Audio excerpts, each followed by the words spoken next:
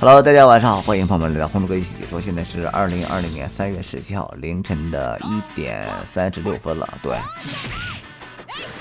现在一批是帽仔，二批是粪土哥啊，两位顶级高手的一场表演。来看帽仔的首发是选择小师妹板球里上来续了一个霸王小拳。现在零二风云再起二零一七版他们玩这个上来就是满资源的，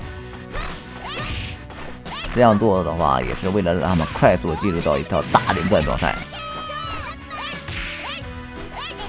开 BC 是零二的一个核心的一个系统，怎么开，什么时候开啊，也是比较有讲究的。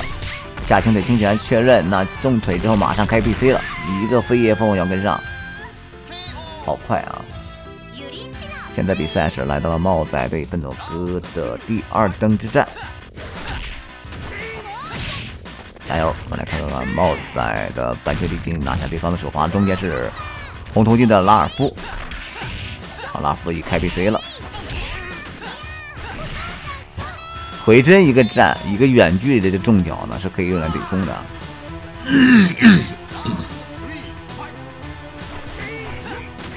好，来看看帽仔的中间是选择金亚帆，金亚帆在原版当中也是比较强的人物了，在原版，在这个版本里面，我们来看看金亚帆的视频怎么样？现在是双方都是第二个人，第二人气的是上了一个四克气了。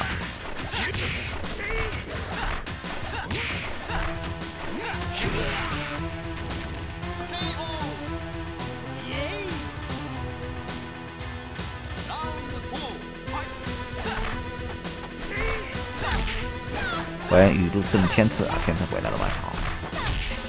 随机的对，好，大家看在在这个版本人物爱豆的时候，他那头像会颤抖，会颤抖。李飞开手刀，直接一个天国之门带走了，超杀确认出来，天国之门，一顿疯狂的手刀啊！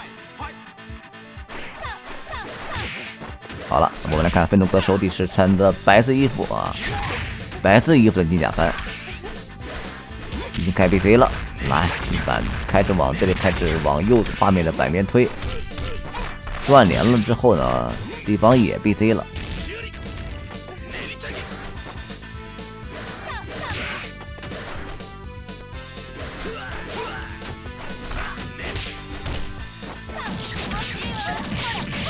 好，我们来看金亚帆怎么能能不能挺得住？看来没有机会，对方又有资源喽，又是一个天国之门，太快了。